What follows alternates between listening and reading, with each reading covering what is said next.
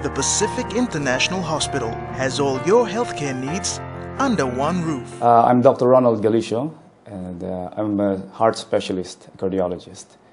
In my practice here in PNG, I've been uh, getting a lot of cases of ischemia or the coronary artery disease, and uh, some with arrhythmia or irregular beating of the heart problem.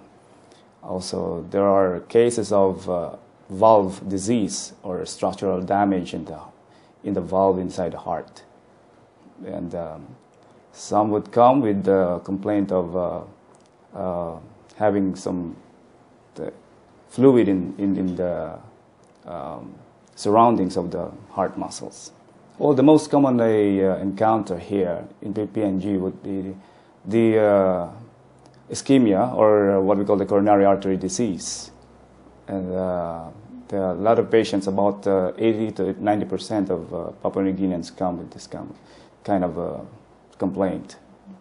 Um, most of the patients coming in with coronary artery disease or ischemia would complain of chest pain most uh, commonly. Mm-hmm. And uh, some would complain of uh, easy fatigability, or they usually get tired whenever they do the usual work they, they have been doing in the past. And uh, shortness of breath, and some of them would be having palpitations or unusual feeling on the chest. Well, first, uh, this CAD, they usually get this uh, coronary artery disease by uh, getting some risk factors. Uh, uh, there are a lot of risk factors which are present in the Papua New Guineans, mm-hmm. like uh, obesity itself, which is very high in this population and the prevalence of uh, high blood pressure, also with the high cholesterol levels. Mm-hmm. And uh, because of this uh, obesity or over, being overweight, it, it, leads to physical inactivity, or what we call the sedentary lifestyle. And uh, cigarette smoking, which is the most single uh, important factor for this uh, CAD. They get this disease because of the presence of the risk factors they, they can be able to, to reduce their risk by uh, uh, addressing the said risk factors, which are, for example, the, the, the smoking itself, which is, uh, as I've said, this is one of the most important uh, sing- single factor in preventive cardiology. If you smoke about 20, 30 or rather sticks a day, it will increase your uh, risk of developing heart disease or heart attack about two to three fold. If you cease, uh, smoking, it will decrease your risk of having a heart attack by 36%.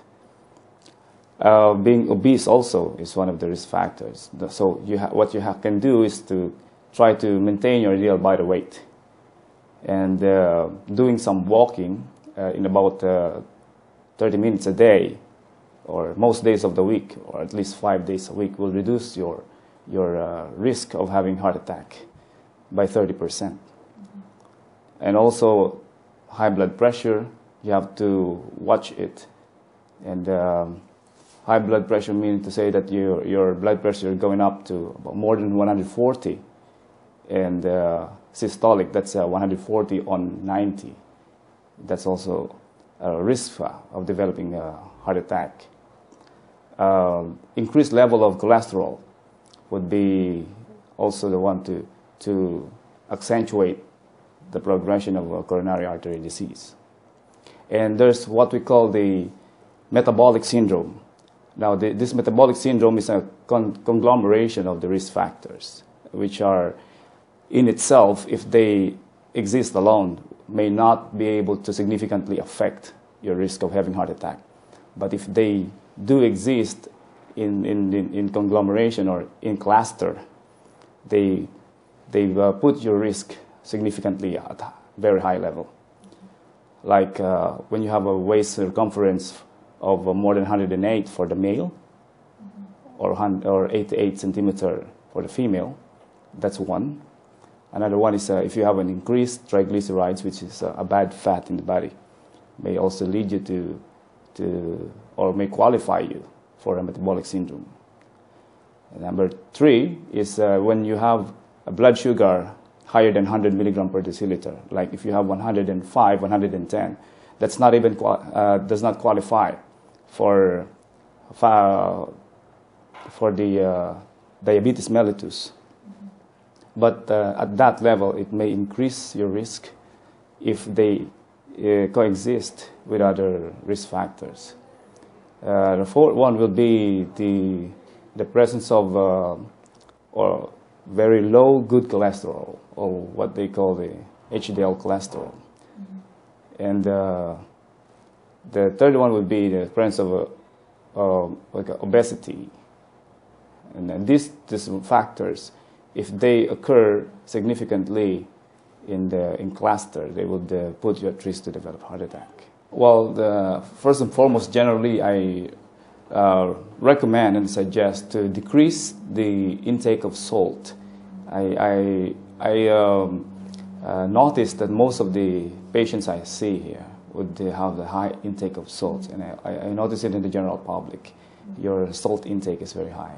That will increase the propensity to develop the high blood pressure and cascading down the line. And uh, secondly is the avoid taking fats. Like uh, you can take lean meat, of course in moderation. Avoid the, the fat portion and the skin portion of the meat. And also the, take more of the, the uh, fish and the greens. That will help you a lot. And uh, that's just, um, I'm specific with the skins, like chicken skins, mm-hmm. pork skins. They, they contain bad fats and they, they would really um, affect your uh, cardiovascular condition. Now, uh, once the patient has developed this thing here, uh, what we can do once a CAD is diagnosed is that uh, you will have to, to be on medication uh, and, uh, to control the risk, addressing the risk factors and to avoid the acute complications like such a heart event, which is a, a very fatal one. Mm. And uh, once you're diagnosed, you may go for further testing, like uh, treadmill stress test, which can help us diagnose this thing here, which we do here also. Uh, and uh, echocardiography also we do here, which can be a supplementary um, mode, uh, mode of uh, investigative uh, workup. But also the, the use of coronary angiography, which is the gold standard of diagnosing this kind of disease, is very much recommended. The thing is that presently, uh, for, unfortunately, that we don't have it here anywhere in PNG. Mm-hmm. Uh, but uh, I think the management of PIH has been on, on the, its way of uh, introducing this kind of uh, technology uh, once we open the Taurama or the bigger hospital. That will be soon. The Pacific International Hospital has all your healthcare needs under one roof. We join Bill for the Brian Bill segment, and that's up next, so stay with us.